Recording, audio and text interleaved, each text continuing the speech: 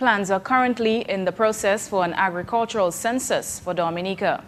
Minister for Agriculture Johnson Drigo stated that the census will guide the decision-making within the sector. The Ministry of Agriculture and Fisheries has been engaged in preparation to conduct an agriculture census. The consultancy on this project is ongoing and preliminary work is being done in collaboration with the Central Statistics Office, he said.